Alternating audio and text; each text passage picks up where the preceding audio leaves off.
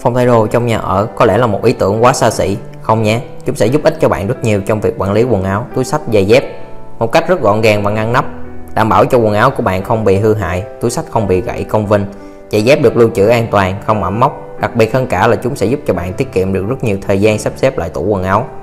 Hôm nay nội thất Vinhouse sẽ trình bày cho các bạn những ý tưởng để thiết kế phòng thay đồ độc đáo.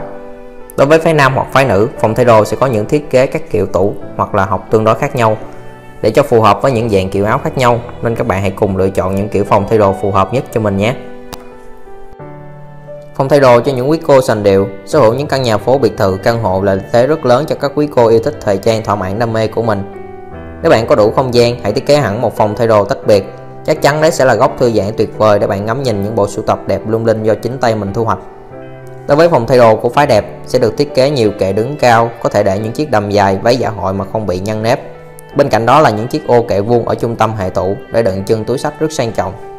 Trang bị những chiếc ghế nệm êm ái đặt giữa phòng giúp bạn dễ dàng thử giày hoặc lựa những bộ quần áo phù hợp với hoạt động mình chuẩn bị tham gia. Với chiếc ghế ấy bạn cũng có thể để quần áo thuận tiện hơn trong lúc lựa chọn. Phòng thay đồ dành riêng cho phái mạnh đẳng cấp. Riêng với cách thiết kế phòng thay đồ nam, các kệ tủ sẽ có kích thước hơi sâu một chút để phù hợp với những chiếc vest tông thực sang trọng. Để thể hiện cá tính mạnh mẽ, phòng thay đồ nam thường được lựa chọn những tông màu hơi trầm một chút nâu gỗ xám đậm, xanh đen hoặc là màu nâu gỗ tự nhiên.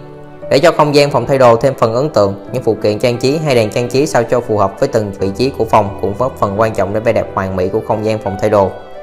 Ngoài cách để đồ trực tiếp lên kệ tủ, chúng ta có thể sử dụng những chiếc rổ may, túi vải, thùng nhựa để phân chia quần áo theo loại, tránh bám bụi vào quần áo. Và đó cũng là những phụ kiện để làm đẹp thêm căn phòng thay đồ của mình. Bố trí phòng thay đồ cho cặp đôi, tín đồ thời trang, khi thiết kế phòng thay đồ cho nam và nữ dùng chung thường sẽ chia căn phòng ra làm hai bên, một bên để quần áo nam và một bên để quần áo nữ, và không treo lẫn lộn với nhau. Bên phía treo quần áo nam sẽ được ưu tiên nhiều kệ có chiều cao thấp một chút để treo áo sơ mi và áo thun. Bên cạnh đó sẽ được chia nhiều ô vuông nhỏ để trưng bày đồng hồ dây nịch, nón, cà vạt. Còn đối với khu vực treo đồ cho nữ, các kệ tủ sẽ được ưu tiên nhiều về chiều cao để khi treo váy dài, đầm dự tiệc sẽ không bị nhăn nhúm. Tông màu để lựa chọn cho phòng thay đồ của nam và nữ có sự hài hòa và đồng đều. Vinhouse khuyên bạn nên chọn những tông màu gỗ tự nhiên hoặc màu nâu gỗ chầm phối với những phụ kiện mộc mạc. Chắc chắn sẽ đem đến cho hai bạn một góc trưng bày quần áo không thể chê vào đâu được. Ý tưởng thiết kế phòng thay đồ mini trong phòng ngủ với mọi diện tích. Đối với những căn nhà nhỏ, nếu bạn biết cách lựa chọn những mẫu mà Vinhouse gợi ý dưới đây cho kết hợp với căn phòng ngủ của mình, thì chúng sẽ trở nên hoàn hảo không kém cạnh gì những căn phòng thay đồ rộng lớn đâu không gian mở cho phòng thay đồ đẹp, đơn giản. Tận dụng bề ngang của phòng để thiết kế kệ tủ quần áo lớn, kịch trần để tối ưu nhiều không gian chứa đồ thoải mái. Ngăn tủ treo có hai độ cao khác nhau, phù hợp cho nhiều loại quần áo. Với không gian chữ L sẽ giúp chúng ta có thêm chỗ đứng rộng rãi. Đồng thời, mẫu phòng thay đồ này có thêm những hộc kéo rộng, nhưng bên trong sẽ chia ô vuông nhỏ để đựng dây nịch, đồng hồ, cà vạt, gọn gàng và đẹp mắt.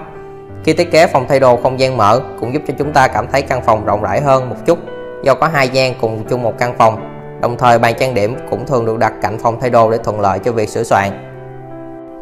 Sử dụng cửa kính cho phòng thay đồ phong cách châu Âu, Khác với sự phóng khoáng, dùng cửa kính cho phòng thay đồ là phong cách hướng Âu Ngắm nhìn những bộ sưu tập của mình qua lớp kính huyền ảo cho chúng ta cảm giác nâng tầm giá trị của những bộ quần áo Cửa kính gương tạo điểm nhấn độc đáo cho phòng thay đồ, lại là công dụng giúp cho bạn soi gương để thử quần áo thuận tiện bởi chiều cao đụng chân.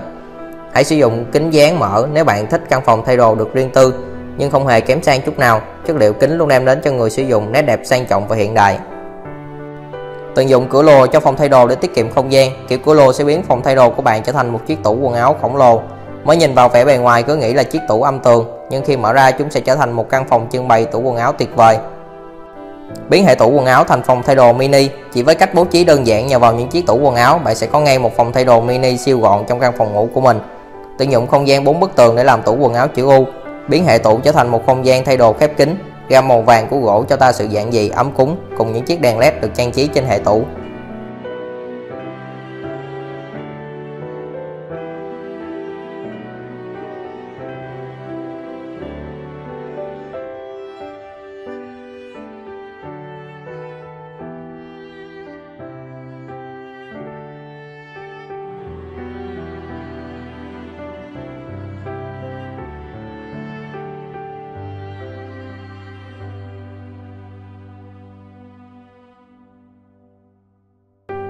Vừa rồi là những chia sẻ của nội thất Vinhouse và những ý tưởng thiết kế phòng thay đồ độc đáo. Nếu các bạn thấy video hay bổ ích, hãy dành cho nội thất Vinhouse một like, một subscribe để nội thất Vinhouse có thêm động lực ra các video tiếp theo.